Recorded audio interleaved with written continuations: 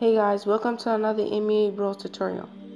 In this tutorial, we're going to be making this simple glass vase in Blender 2.8.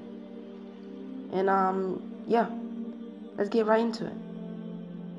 Okay, the first thing we're going to do is, um, first thing I'm going to do is just um, add these, the shortcut key thing. It basically casts as the keys, but um, yeah, we're going to go to um, render settings, change this to Eevee to cycles. Then we're going to um, check this little box then we, then after that we're gonna hit tab to go to edit mode. Then we're gonna hit Alt M. Then we're gonna hit at center. Then um we're gonna hit one. Then we're gonna hit E. Then X. Then this is basically gonna extrude on the X axis up to about there. Then we're gonna hit Control and then um left click. Left click. This is basically gonna um extrude up to where we're clicking at. And this is basically gonna be like the um the shape of our vase yeah, you need to really be careful on this part. And um, yeah.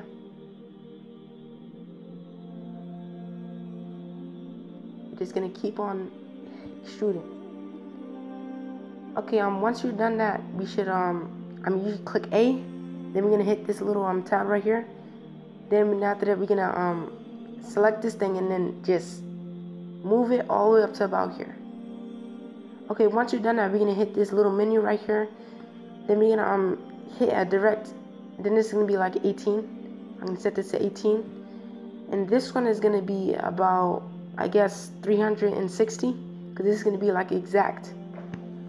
Okay, um once you're done that, we're gonna um put this back down.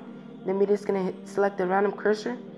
And if you go and if you um go at the bottom of your vase, if you go at the bottom of your vase, this should be closed up. It shouldn't be any holes right there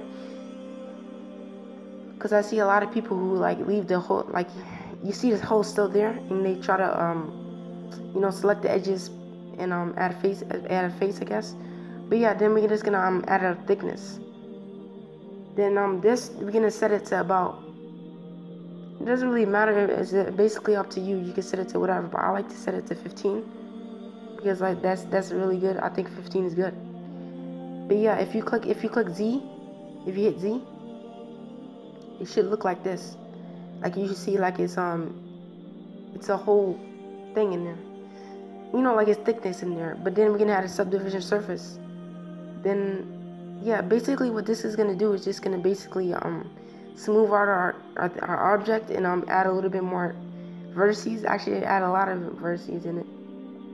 You shouldn't high I mean have it to too high because it kind of makes it the renders take a little bit long, but yeah, then after we can hit smooth shade. And what this is basically gonna do is just um, make it real smooth. So, but it actually adds a lot of vertices. That's what I don't like about it. And smooth shade doesn't add vertices. I meant the um, subdivision surface makes a lot of vertices. But yeah, basically what I'm doing now, just I'm just checking if there's any doubles, because I get that a lot when I'm um, making something. Is a lot of doubles.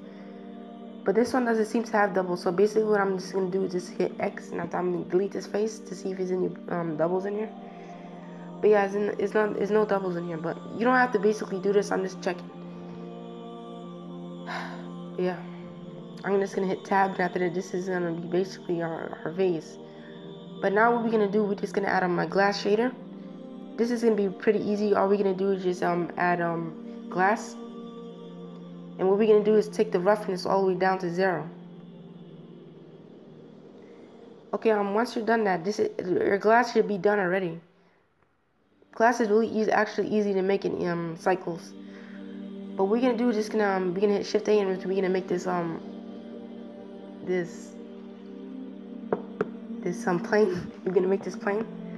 It shouldn't be all the way that big, but um yeah basically now what we're gonna do we're just gonna um, hit tab to go to edit mode now then make sure your um, edge selecting thing is selected.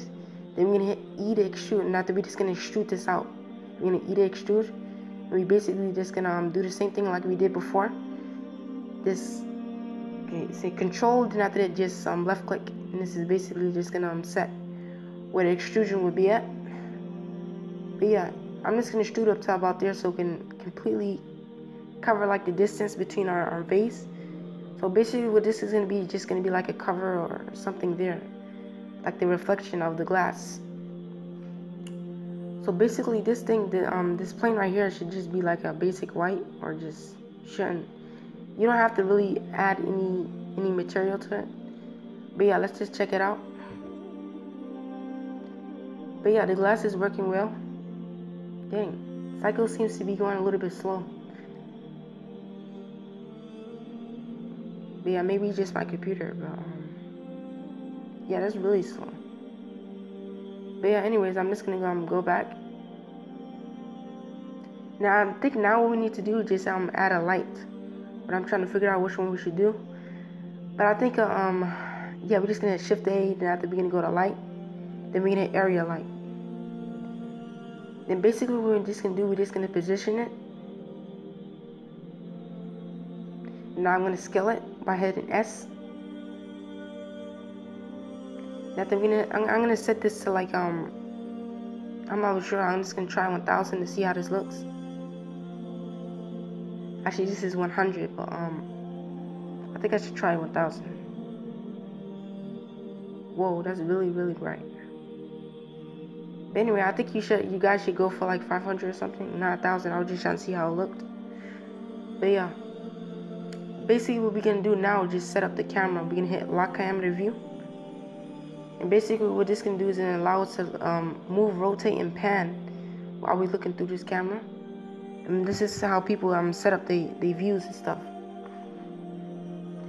But yeah, this seems like a good position. So now we're gonna just um, set the render samples. I'm gonna set it to 200 because that'll be good. And this should take about like 10 minutes or something. Okay guys, um, here's the final render. And if you like this video, don't forget to like, comment, share, and subscribe. And um, yeah, until next time. Peace.